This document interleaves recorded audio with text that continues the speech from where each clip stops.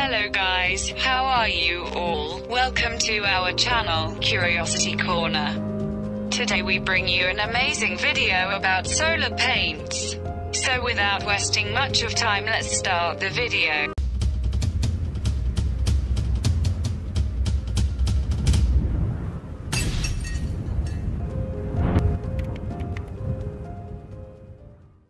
How do you power your home? Most of us have wires running from a power station somewhere.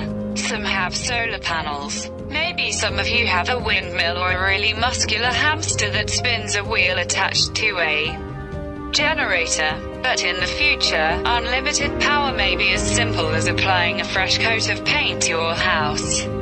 It may sound like a fantasy, but a team of scientists at RMIT University in Melbourne, Australia are well on the way to making it a reality.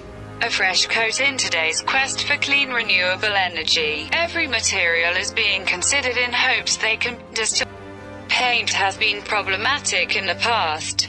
It has been associated with waste in non-toxic forms. In the toxic variety, it has even triggered public health crises. Lead by Dr. Torben Daeneke. The RMIT University team recently introduced a new type of paint made of a synthetic molybdenum sulfide. The substance acts like a semiconductor that forces water molecules to divide into hydrogen and oxygen. It also acts like a silica gel, which you may recognize as those little beads sometimes slipped into food and medicine packaging to protect against moisture. Mixed with titanium oxide particles, the white particles already used in everyday house paint. The new paint is reportedly able to create a hydrogen fuel from a combination of moist air and solar energy. Dr. Daeneke has high hopes for the new paint, and rightfully so. Since it could convert the average brick wall into an energy harvester. The paint could be used in a variety of environments. In hot, dry climates, it could absorb nearby sea or ocean vapor to convert into fuel.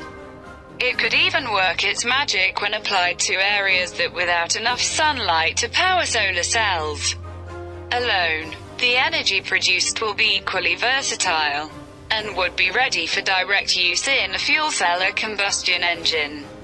Perhaps best of all, the substance will be inexpensive enough to produce for widespread use in the near future. Next estimate is five years. In theory, by the time you're ready to give your home a proverbial facelift, you could effortlessly create your own energy source at the same time.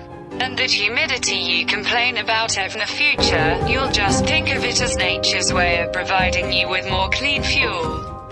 So guys if you enjoy the video then please like the video, leave your comments, share it with your friends, and don't forget to subscribe our channel.